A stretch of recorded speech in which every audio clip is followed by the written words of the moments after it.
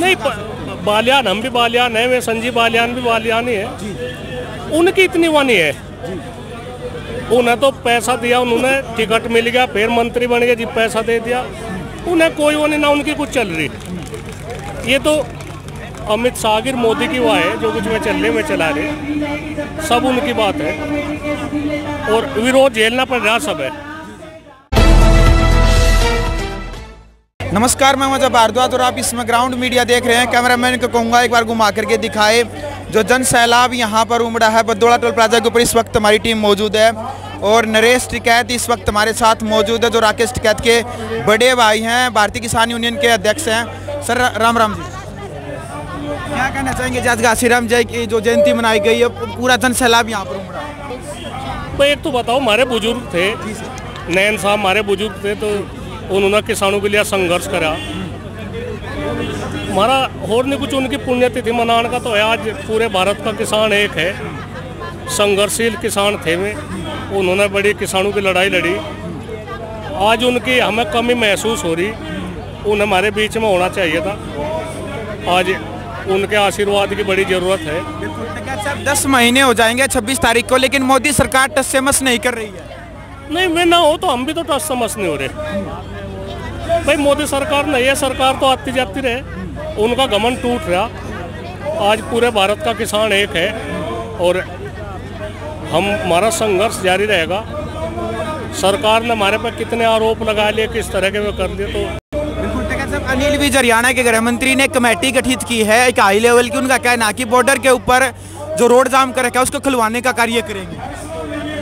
नहीं ऐसा कमेटी की क्या ज़रूरत है? वे बात मान लो बात करो हमारे साथ।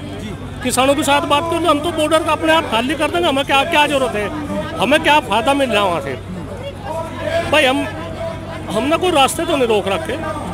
हो सके किसी के लिए कुछ परेशानी होती हो खेत है उसके लिए हमें। हम उसके लिए खेत जतावे, जनता को परेशानी तो हो, पर किसान तो आज ज़्यादा परेशान है। किसानों को भी तो सोचनी चाह पाती यूपी चुनाव को लेकर के किस तरह का असर रहेगा किसान आंदोलन को लेकर के? किस तरह की रणनीति तैयार कर रखी है यूपी चुनाव को लेकर? क्योंकि आप बार बार कहते हैं कि असर पड़ेगा यूपी चुनाव के अंदर हम मात देंगे तो लो एक बताओ चुनाव की घोषणा होने दो जी भी तो बात होगी। बिल्कुल। असल वहाँ सरकार नहीं बनने की भाजपा के नहीं बनने की। कल्याण साहब के और आप सभी के भी पारिवारिक संबंध है राजनीतिक संबंध भी रहे हैं। क्या क्या नहीं बालियान हम भी बालियान है वे संजीव बालियान भी बालियान ही है। उनकी इतनी वो नहीं है? उन्हें तो पैसा दिया उन्होंने टिकट मिल गया फिर मंत्री बन गए जी पैसा दे दिया। उन्हें कोई वो नहीं ना उनकी कुछ चल रही। ये तो अमित शाह मोदी की वो है जो कुछ में चल रहे में चला रहे। सब उनकी बात है।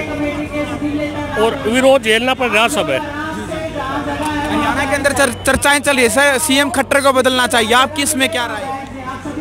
वो तो हमारे कहने तो तुम्हें बदलने के नहीं? भाई तो प्रशासनिक फेर बदली है वे करते हो वे कर दो मुख्यमंत्री तो बदले उत्तराखंड का बदल लिया पंजाब का बदल लिया जगह जगह के गुजरात के बदल दिए। तो कहाँ वो तो उनकी बात है हमारे कहने तो, तो सीएम नहीं बदले जाने के चलिए सर आप किसान नेता हैं देश के किसानों को क्या आप संदेश छोड़ना चाहेंगे? और मोदी सरकार तक खासतौर पर क्या संदेश पहुंचाना चाहेंगे? भाई संदेश तो यही है मोदी को किसानों की बात सुनने चाह। हमने वोट दिए, वोट दे के प्रधानमंत्री बनाए। इतना इतना जिद्दी प्रधानमंत्री हमने नहीं देखा। ये ये उनका गरूर है, ये ये चूर चूर हो जाएगा, उनके होने किसी का नहीं रहा। वे जिदपन छोड़ दे और किसानों तो गलती मानने। माफ़ी तो हम नहीं कहते किसानों से गलती मानने के मेयर से हमने दस महीने किसान परेशान करा उसके लिए हमें खेद है। और इनकी बात मान मानने आज किसान घाट- घाटे का सौदा हो रहा खेती। हमारी युवा पीढ़ी है, वो बर्बाद हो रही। मजदूर बर्बाद होगा, व्यापारी बर्बाद होगा। तो खुश कौन है इसमें?